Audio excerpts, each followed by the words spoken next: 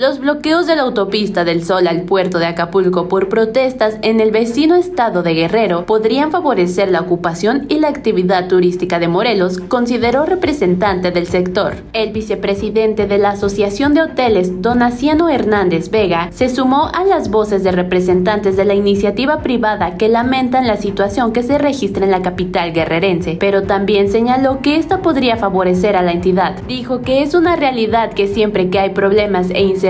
para llegar a algún destino turístico, los ciudadanos optan por quedarse en lugares intermedios. De continuar el conflicto, los habitantes de la Ciudad de México y su zona metropolitana que tengan planeado llegar estos días al puerto de Acapulco podrían decidir quedarse en Morelos. El representante del sector hotelero local lamentó que cada vez sea más recurrente la toma de vías de comunicación importantes como la autopista del Sol o la autopista México-Cuernavaca, en especial durante o en la víspera de inicio un periodo vacacional, como es el caso. Señaló que el margen de lo que pueda suceder este fin de semana de continuar la crisis social en el sur, las expectativas en la ocupación de cuartos de hotel en Morelos para el periodo dependerán de la decisión de último momento que tomen los capitalinos. Donaciano Hernández recordó que las reservas de fin de semana en los hoteles locales siempre se hacen el mismo día o cuando mucho con un día de anticipación, por lo que en este momento no hay un indicador del comportamiento que tenga el sector. Sin embargo, con base en años anteriores, salvo los de la emergencia por el COVID-19, se estima que la ocupación promedio de lunes a jueves sea entre el 40 y 45% y la de fin de semana de entre 60 y 65%.